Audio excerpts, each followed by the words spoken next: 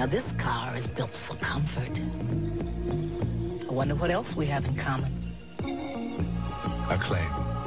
First class travel for the price of